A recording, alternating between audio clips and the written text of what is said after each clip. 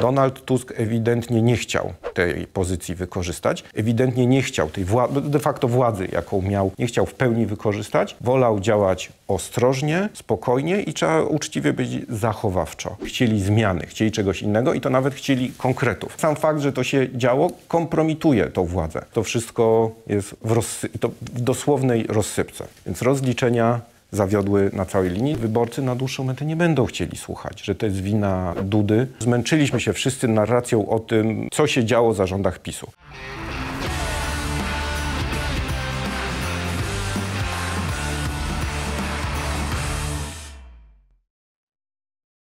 Dzień dobry Państwu, ja się nazywam Jan Złotorowicz i to jest mój raport. Raport w nietypowej bardzo formule, bo dzień specjalny. Dzisiaj bez gościa, ja sam tutaj przy stole. Chciałem się z Państwem spotkać, porozmawiać trochę no, o dniu dzisiejszym, bo mamy 15 października 2024 roku. No, a to oznacza, że równo rok temu odbyły się wybory, w wyniku których koalicja e, stworzona przez Donalda Tuska przejęła władzę w Polsce. Nie od razu, o czym też chwilę pewnie dzisiaj pogadamy, bo jeśli ktoś zapomniał, to trochę to zajęło. W końcu złośliwi mówią, koalicja 13 grudnia, tyle czasu od wyborów zajęło, żeby w ogóle ten rząd powstał. Ale tak czy inaczej uważam, że to jest uczciwy moment na to, żeby dokonać rocznej oceny, rocznej analizy. Zacznę może od pewnego zastrzeżenia, czy też jak to się popularnie mówi, disclaimer. Będzie to w oczywisty sposób ocena mocno subiektywna, moja własna. Ja też jestem obywatelem tego kraju, też brałem udział w tych wyborach. Nie chcę mówić na jaką partię i na jak, głosowałem na jakich kandydatów, natomiast też jako wyborca miałem pewne oczekiwania. Natomiast postaram się w miarę moich możliwości dokonać oceny nie z mojego osobistego punktu widzenia, widzenia, tylko spróbować opowiedzieć, jak w mojej ocenie przede wszystkim wyborcy sprzed roku oceniają dzisiaj y, rząd, który powołali. Co im się podoba, co im się nie podoba, czego by oczekiwali. Nie chcę być w tej sprawie zupełnie gołosłowny i szczęśliwie być nie muszę, bo mam tu dla Was całą garść sondaży, e, który Instytut Badań Polster na zlecenie Super Expressu przygotował. Szczegóły ich też znajdziecie u nas na serwisie i, i w gazecie z okazji e, rocznicy rządów Donalda Tuska. Zacznijmy może od oceny. Zapytaliśmy, czy też e, Instytut zadał pytanie, jaką ocenę wyborcy wystawiliby rządowi Donalda Tuska rok po wyborach parlamentarnych. I tu muszę powiedzieć, zaskoczeń nie ma. O, najwięcej jest jedynek. 28% postawiłoby jedynkę, dwóje 13%, trójkę 13%, czwórkę 20%, piątkę 11%, no i tylko 4% szóstek. Jeśli ktoś się w całości nie doliczył, jest 5% niezdecydowanych. No to od razu, czy to jest dobra ocena, czy to jest zła ocena? No bo ktoś mógłby powiedzieć, no tak, najwięcej jest jedynek, to prawda, ale śmiem twierdzić, że te jedynki, te 28%, które wystawiły jedynkę, to są w większości wyborcy Prawa i Sprawiedliwości. Mam podstawy, żeby tak twierdzić, ale o tym będę mówił później, bo mówię, to nie jest jedyny sondaż, o którym dzisiaj Państwu opowiem. Więc ja sobie, żeby tak spróbować ocenić, czy ludzie dobrze, czy źle oceniają ten rząd Tuska, no to sprawdziłem, ile jest od trój w górę. No wiadomo, Truja to już jest zaliczenie, więc czy rząd, że tak powiem, zdał egzamin po roku? No bo trzeba powiedzieć, że zdał, bo 54% wyborców wystawiło ocenę od trójki w górę. Czyli ponad, można powiedzieć, że ponad połowa e, Polaków jest zadowolona z tego, w miarę zadowolona, no bo jednak zazwyczaj są to oceny słabsze. No mówię, tylko, tylko 4% y, szóstek, więc raczej ludzie nie są zachwyceni tym rządem, ale generalnie go popierają. Pierwsza konstatacja na rok po wyborach jest właśnie taka, ale żeby jeszcze trochę tu się podbić jakimiś danymi, jakimiś wartościami, Instytut zadał też pytanie, gdybyś musiał wskazać to zarządów której władzy żyło ci się lepiej, to jest dobrym, myślę, bardzo pytaniem, to 59% wskazało, że lepiej im się żyje za czasów koalicji, rządów koalicji obywatelskiej, trzeciej drogi i lewicy. Natomiast 41% wskazało, że lepiej im się żyło za czasów rządów Zjednoczonej Prawicy. Czyli generalnie ludzie jednak są zadowoleni z tych rządów, aczkolwiek jak się wyjdzie w szczegóły, o czym też e, za chwilę, to wyjdą, jak to się mówi, różne kwiatki. I o tych kwiatkach chciałbym, żebyśmy teraz porozmawiali. Sondaże jeszcze będą, ja do nich jeszcze wrócę, ale to zostawię sobie na koniec mojej narracji, bo teraz no, musimy się trochę cofnąć w czasie, wrócić do tego 15 października rok temu i, i zadać sobie pytanie, co wtedy się wydarzyło. Bo jeśli ktoś nie pamięta, no to najczęściej słyszeliśmy wtedy, że wybory wygrało Prawo i Sprawiedliwość, bo rzeczywiście procentowo było na pierwszym miejscu, zdobyło największą liczbę głosów,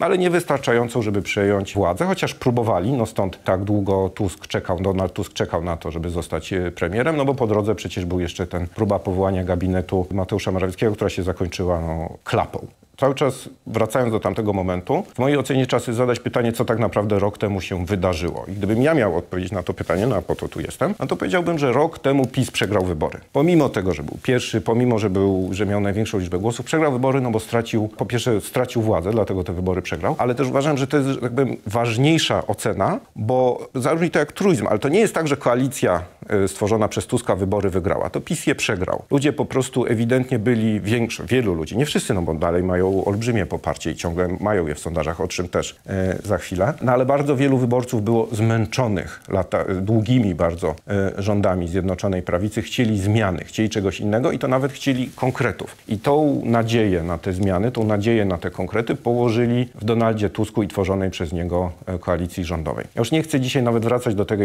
ale warto przypomnieć, że było coś takiego jak 100 konkretów na 100 dni rządu. Z tego ten rząd się absolutnie kompletnie nie wywiązał, co też słyszeliśmy, no bo te 100 dni rządów, no to głównie rządził kto inny, myśmy nie mieli jak i tak dalej. Zostawmy to, ale warto przypomnieć. Miało być 100 konkretów, z tych 100 konkretów jest raptem kilka. Natomiast, żeby tak ogólnie, jakby miał wskazać, tak jak mówiłem, jakie były oczekiwania tych ludzi, którzy na rząd Donalda Tuska, czy na partie tworzące rząd Donalda Tuska głosowali, no to w oczywisty sposób chcieli oni odsunięcia PiSu od władzy, chcieli rozliczenia władzy Prawa i Sprawiedliwości, chcieli zmian polityki i to nawet nie, i to nawet konkretnych zmian.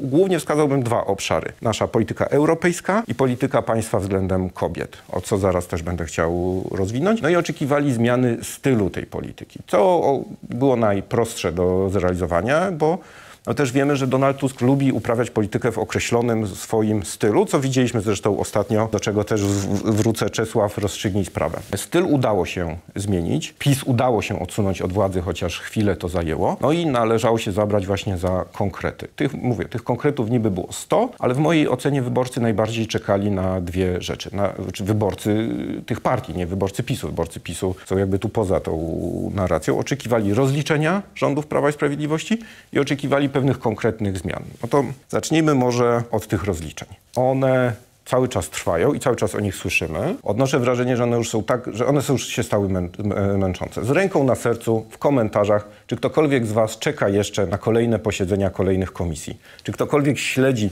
tak zwaną komisję Giertycha do spraw rozliczeń PiSu, która podkreślę, nie jest komisją, jest po prostu zespołem parlamentarzystów y, Platformy Obywatelskiej. Wydaje mi się, że nikt. Wydaje mi się, że już trochę wręcz zmęczyliśmy się wszyscy narracją o tym, co się działo za rządach PiSu. Czy dobrze, czy źle. Tu oczywiście każdy może mieć swoje zdanie. Jakby bardzo często słyszymy o bardzo poważnych zarzutach, o bardzo wielkich wręcz kwotach, które padały. Tylko mam wrażenie, że zwykły wyborca jest już tym wszystkim tak przykryty, że skala tego go przybija i kompletnie nie jest w stanie tego śledzić. To, co ludzie lubią i to, na co ludzie czekają, to są konkretne jednostkowe zdarzenia. A konkretne jednostkowe zdarzenia, bo tu oczywiście rządy Donalda Tuska, urzędnicy y, rządów Donalda Tuska mogą podawać nam kolejne kwoty nadużyć, kolejne kwoty, na które wydawano y, w sposób ich zdaniem bezpodstawny, no, ale ludzie czekają na jakiś konkret. A konkret jaki mieliśmy? Przypomnę, że wsadzono na chwilę za kraty panów Wąsika i Kamińskiego, no i czym to się skończyło? No dzisiaj obaj są europosłami. Jakby ktoś nie wiedział, to dla polityka polskiego ciężko o lepszą fuchę niż bycie posłem do Europarlamentu. Jeśli się jeszcze do tego ma ciągnik i można rozliczać kilometrówki, to w ogóle ma się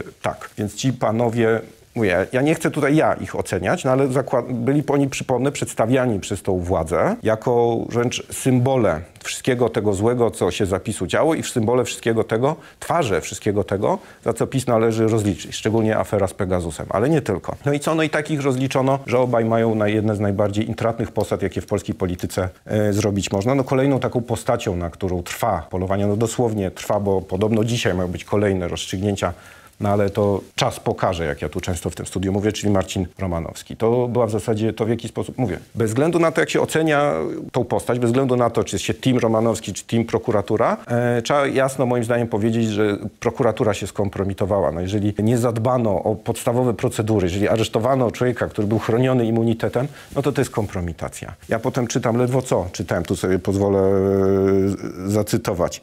E, europoseł też inny, lewicy, Krzysztof Śmiszek, który tam różne działania yy, yy, Marcina Romanowskiego skomentował, że on świadomie brnie, próbując zrobić siebie ofiarę systemu i bawi się w ciuciu babkę. Okej, okay, można tak powiedzieć, no ale z drugiej strony no to dzieci nada i zabawa w ciuciu babkę to jest, to przede wszystkim obciąża to władzę.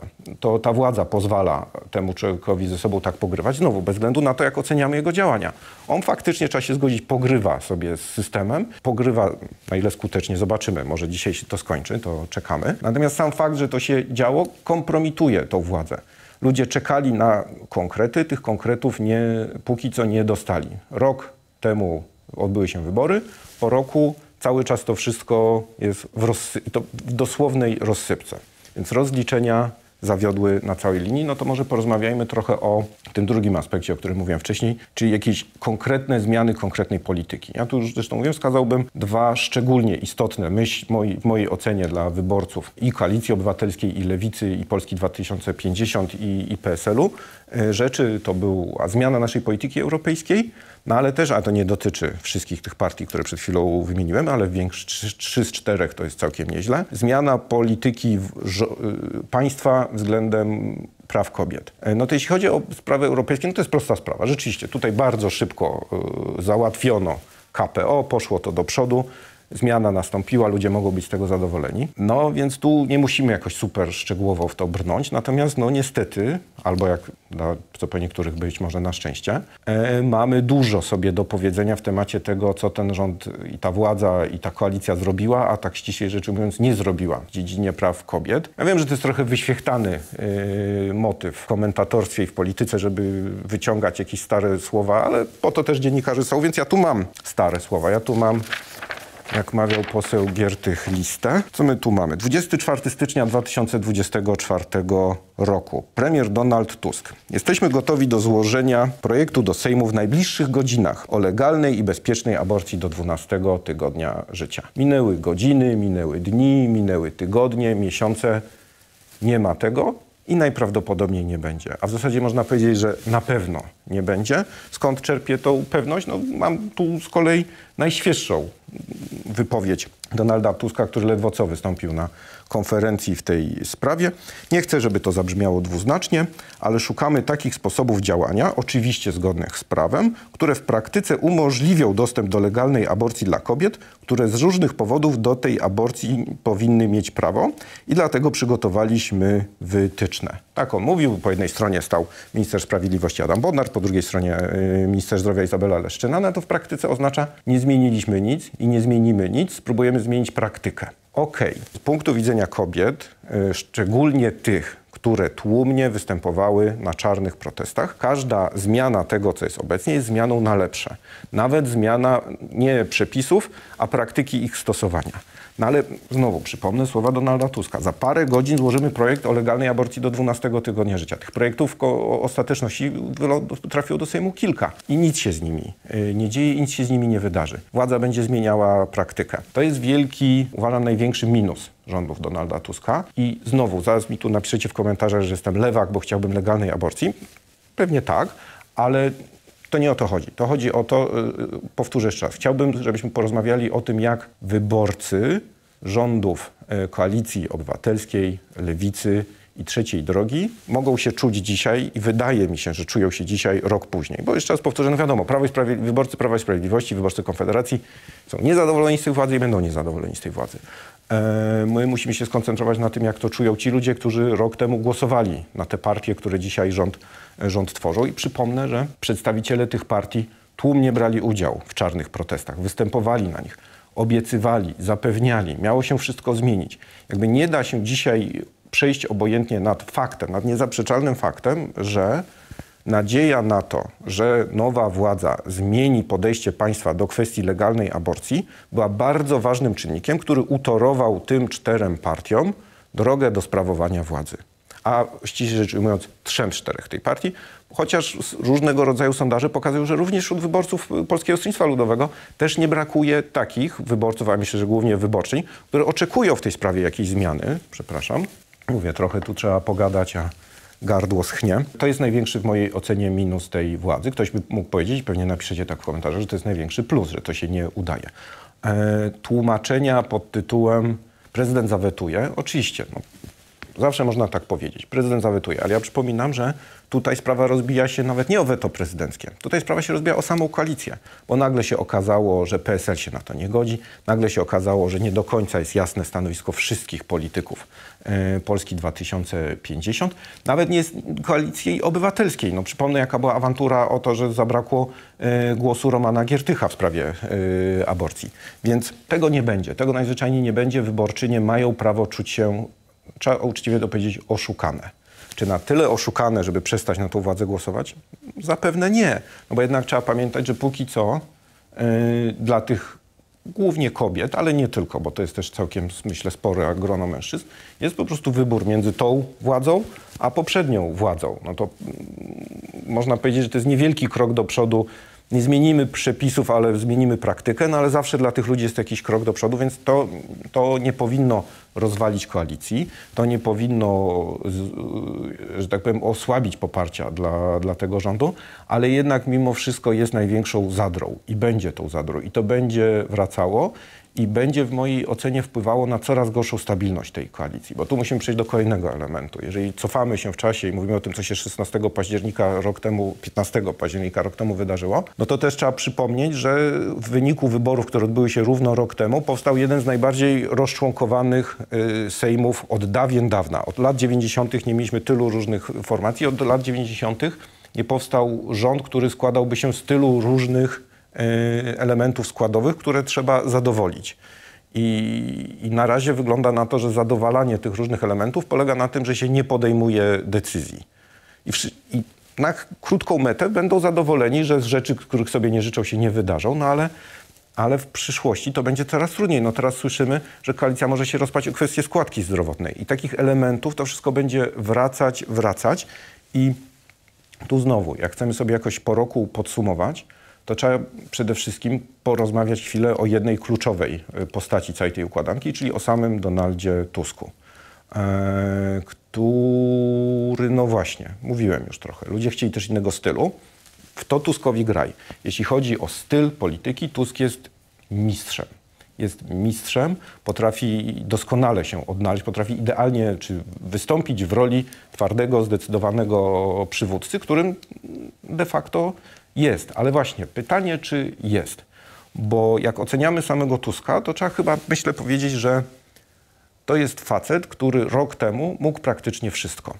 Jego pozycja była olbrzymia, jego poparcie było olbrzymie i kredyt zaufania, jaki dostał, był wielki. W mojej ocenie rzadko który premier miał tak silny start i tak silne y, możliwości działania na starcie. E, Donald Tusk ewidentnie nie chciał tej pozycji wykorzystać, ewidentnie nie chciał tej de facto władzy, jaką miał, nie chciał w pełni wykorzystać. Wolał działać ostrożnie, spokojnie i trzeba uczciwie być zachowawczo. E, co w mojej ocenie jest minusem, bo cały czas nam tego w Polsce brakuje. Zdecydowanych polityków. Mamy takich, jeżeli popatrzymy na drugą stronę, o Jarosławie Kaczyńskim nie da się tego powiedzieć. Jarosław Kaczyński jak miał pozycję, jak miał władzę, jak miał siłę, to ją wykorzystywał do granic możliwości. Aż trzeszczało momentami. I to jest wielki, jeżeli mówimy tu, żeby na chwilę poświęcić choć trochę yy, poprzedniej władzy, no to to czy komuś się to podoba, czy nie podoba, jest to zawsze plus i jest to ewidentnie w mojej ocenie największy element powabu Jarosława Kaczyńskiego, że to jest człowiek, który nie boi się swojej pozycji, nie boi się swojej władzy wykorzystać do śmiałych działań. Oczywiście możemy, moglibyśmy cały osobny mm, program nagrać o tym, czym to się w praktyce skończyło i do czego prowadziło, ale nie dzisiaj. Dzisiaj pastwimy się nad rządzącymi, nie nad opozycją i nad dawną koalicją. Więc wracamy do, do Donalda Tuska. No samo to zestawienie, które wam przedstawiłem, wypowiedź ze stycznia, wypowiedź teraz z lata y, tego roku, no to pokazuje, że y, no nie, nie ma tego zdecydowania. Oczywiście, zawsze jest łatwo i wygodnie siedzieć tu w studiu i się wymądrzać, że przecież mógł bez problemu to przepchnąć. Pewnie by mógł, ale ewidentnie zabrakło takiej woli, zabrakło chęci. Wolał na spokojnie, wolał właśnie zachowawczo. I ta zachowawczość może się źle w przyszłości dla tej koalicji skończyć, ale tu mówię, no nie będziemy teraz wróżyć z fusów, nie będziemy teraz mówić, co dalej, za rok się tu znowu spotkamy być może i będziemy o tym rozmawiać, a być może przy innej okazji, że 13 grudnia jak będzie podsumowanie pierwszego roku rzeczywistych rządów. Więc jeszcze po drodze trzeba o paru rzeczach powiedzieć. Trochę się, żeśmy popastwili, natomiast też trzeba powiedzieć, że no nie możemy nie zauważyć, że po drodze jeszcze tego, tego lata wydarzyła się rzecz absolutnie koszmarna, czyli gigantyczna powódź na południu Polski. I zadać sobie pytanie, czy w sumie największe zdarzenie, naj, najtragiczniejsze zdarzenie, dziewięć ofiar śmiertelnych, z jakim ten rząd musiał sobie dać radę, i możemy w związku z tym zadać pytanie, czy dał sobie radę. I znowu, ja mogę albo wam powiedzieć, co wychodziło w sondażach, albo co ja uważam. Czy ja uważam, że tak. Uważam, że dał radę i, i sondaże, jakie różnego rodzaju instytucje przeprowadzały i różne media publikowały, no to jednak w tych sondażach ponad połowa Polaków wskazywała, że są, wystawiała dobre oceny za to, jak rząd się zachował. I chyba tak trzeba powiedzieć. Że ten najtrudniejszy egzamin, pomijając wszystkie te błędy, zaniechania, niedociągnięcia, o których mówiliśmy wcześniej, no to ta powódź była najtrudniejszym dla tego rządu sprawdzianem i egzaminem i wyszedł z niego, wydaje się na chwilę obecną, obronną ręką. Oczywiście to, co ja teraz mówię, może się szybko zdezaktualizować, no bo to, to jeszcze ciągle de facto trwa. Okej, okay, fala opadła, no ale teraz trwa wielka odbudowa. Natomiast póki co za tę odbudowę zabrano się bardzo dobrze. Wspomnieliśmy o tym, jaką super robotą jest bycie e, europosłem. No Marcin Kierwiński nie będzie już tym e, europosłem, za to został pełnomocnikiem do spraw odbudowy. Słyszymy, że będzie 23 miliardy złotych wydanych na to, żeby Polskę dźwignąć z tej katastrofy. Współpracujemy w, ty, w tym z innymi krajami. Wydaje się, że wszystko tu zostało zrobione tak, jak powinno, aczkolwiek jest trochę jeszcze za wcześnie. Ja tu staram się być ostrożny, dlatego że w mojej ocenie jest jeszcze za wcześnie na to, żeby wystawić ostateczną ocenę, ale na chwilę obecną jakby brak jasnych przesłanek i dowodów na to, żeby powiedzieć, nie dali sobie rady, jest dramat, jest katastrofa. Nie. Państwo zadziałało, co brzmi jak truizm i powinno być, jak mawiał klasyk, oczywistą oczywistością, ale niestety w naszym państwie nie zawsze takie oczywiste jest. Dlatego wypada się cieszyć, że w obliczu takiej tragedii państwo zadziałało. Tym bardziej, że wszyscy pamiętamy czasy, że nie wszyscy, ale większość, wielu z nas pamięta czasy, jak doszło do powodzi, w obliczu której państwo nie zadziałało. Po prostu najzwyczajniej w świecie yy, nie dało sobie rady z, z jej, z, jakby z, ze skutkami tej powodzi. Więc tym razem wszystko wydaje się, że zadziałało, więc yy, trzeba uczciwie wystawić ocenę pozytywną i to daje jakąś nadzieję dla tego rządu i dla jego wyborców, że to jest w miarę stabilny układ, aczkolwiek w miarę tu trzeba, można rozłożyć na wiele czynników pierwszych, bo nawet nie, nie, nawet nie chcę Państwu dzisiaj zajmować czasu wszystkimi przypychankami w koalicji, wszystkimi walkami personalnymi, natomiast warto zwrócić uwagę, że widzimy, że one są, że widzimy, że ten układ nie jest stabilny, że on trzeszczy. E, cały czas de facto trwa przejmowanie władzy, więc cały czas jest taki jakiś element takiej tymczasowości, który jest w dużej mierze wykorzystywany. Jak wracamy do tej kwestii stylu, no to też jest też kwestia narracji. I, i jest też element tymczasowy no w postaci e, Andrzeja Dudy w Pałacu Prezydenckim. To jest kolejny polityk, którego trzeba tu wywołać z imienia i nazwiska, no bo to prawda. Dopóki Andrzej Duda jest w Pałacu Prezydenckim, no to Koalicja Obywatelska, trzecia droga, lewica, e, no, wielu rzeczy nie będą w stanie e, zrobić, albo wiele rzeczy będzie zrobić im bardzo, bardzo trudno. Natomiast wyborcy na dłuższą metę nie będą chcieli słuchać, że to jest wina Dudy. E, jak Dudę zastąpimy kimś innym, to będzie dobrze. Bo może się okazać, że ludzie zmęczą się tą narracją na tyle, że wcale się Dudy nie uda zastąpić kimś bardzo innym. Naprawdę jest, jakby ja bym dzisiaj, wiem, że niektórzy już są pewni tego, yy, kto będzie nowym gospodarzem Pałacu Prezydenckiego. Ja bym się dzisiaj w tej sprawie nie zakładał. Ja bym dzisiaj nie wskazał nawet nie nazwiska, ale nawet nie powiedziałbym przedstawiciel której formacji. Moim zdaniem to jest jeszcze nie rozstrzygnięte, to się dopiero okaże. Jeżeli dalej to będzie wyglądało w ten sposób, że yy, ludzie, wyborcy tej koalicji nie czują jej sprawczości, nie zobaczą jej sprawczości, to mogą się nią po prostu zmęczyć. Nie pójdą głosować na Prawo i Sprawiedliwość, ale wystarczy, że nie pójdą głosować. To już może być e, dla Prawa i Sprawiedliwości i dla kandydata tej formacji, o którym ciągle słyszymy, że będzie, a ciągle go nie ma, więc to też może być dla PiSu problem. Um, to może być naprawdę poważny y, plus, bo PiS potrafi swoich wyborców zmobilizować. A wiele działań tej koalicji będzie wyborców tej for, tych formacji demobilizowało. I myślę, że Donald Tusk to czuje.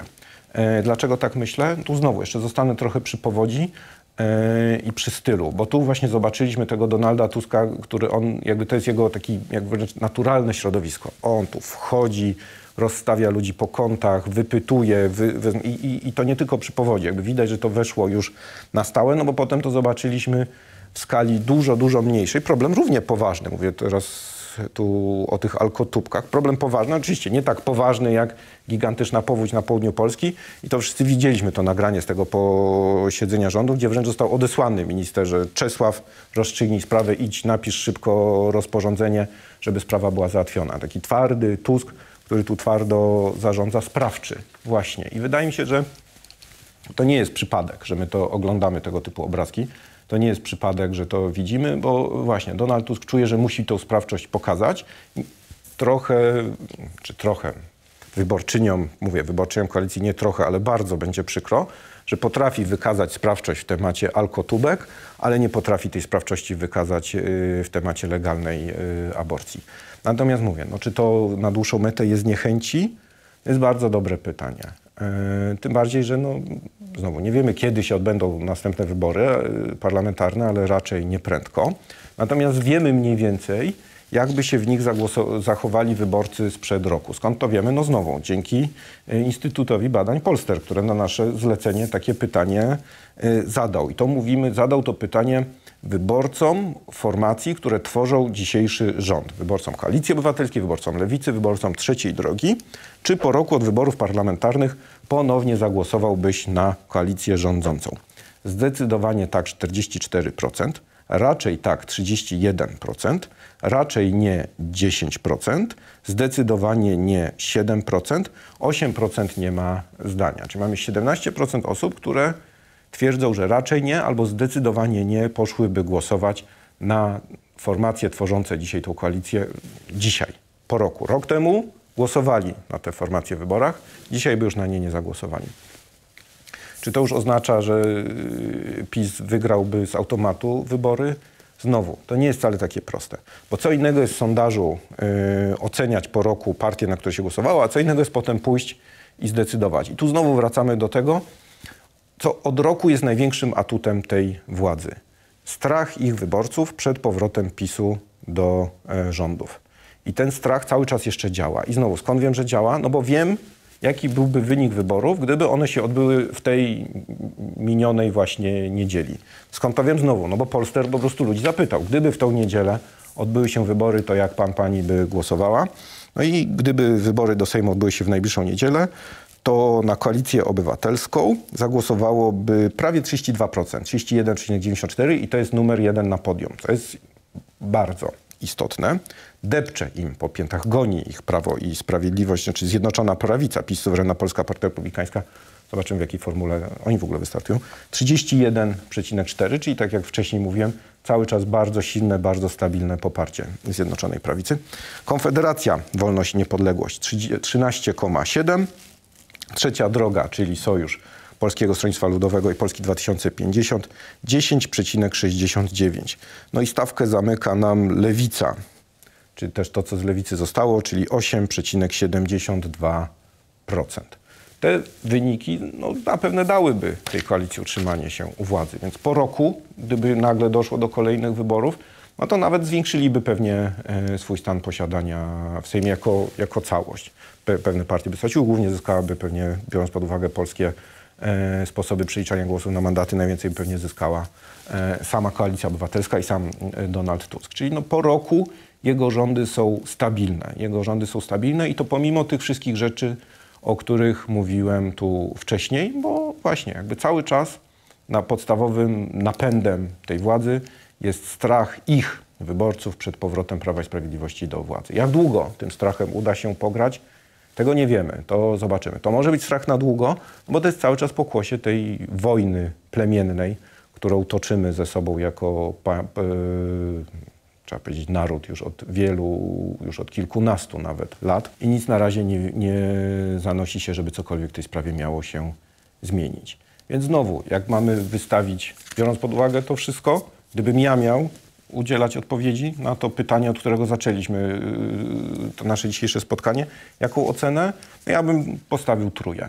Nie jako wyborca, tylko obiektywnie uważam, że e, jakby rozliczać tą władzę z tego, co, z nadziei, jakie wyborcy w nich pokładali, no to jest to truja, no bo no no spełnili podstawowe oczekiwania swoich wyborców, odsunęli od władzy poprzednią ekipę, zabrali się za rozliczenia. Niektórzy powiedzą, że ściganie i, i, i polityczną nagonkę, ale my mówimy z perspektywy wyborców tej koalicji. Zabrali się za rozliczenia. No to to się udało zrobić. Natomiast cała reszta leży i kwiczy i tylko na wielki plus trzeba rzeczywiście w mojej ocenie zapisać to, w jaki sposób rząd e, stanął wobec powodzi i to, jak Donald Tusk pokazuje swoją sprawczość. Dlaczego? No o tym już mówiłem. Więc truja, może nawet z minusem, ale jednak mów truja, czyli egzamin po roku zaliczony. Ja Państwu dziękuję bardzo za to, że e, byliście z nami. Lajkujcie, subskrybujcie nasz kanał. Dajcie nam znać, jaką Wy ocenę wystawilibyście rządom koalicji e, Donalda Tuska i czy, jeżeli są wśród nas, a na pewno są wśród nas wyborcy, czy tej koalicji sprzed roku, czy dzisiaj na nich by głosowali. No ale też ciekawe, czy wyborcy PiSu, którzy tu z nami są, dalej po roku chcieliby na swoją formację głosować. Jesteśmy ciekawi Waszego zdania, więc piszcie w komentarzach. Jeszcze raz lajkujcie i subskrybujcie. No i dajcie nam znać, czy taka formuła Wam się podoba. Chcecie więcej takich komentarzy, czy wolicie gości w studiu? Jakby to nie jest alternatywa. Goście w studiu będą i są. Natomiast zastanawiamy się, czy chcecie też więcej takich pogadanek, komentarzy, danych, sondaży. Jeśli tak, jestem do Waszej dyspozycji. Ja się nazywam Jan Złotorowicz i to był mój raport.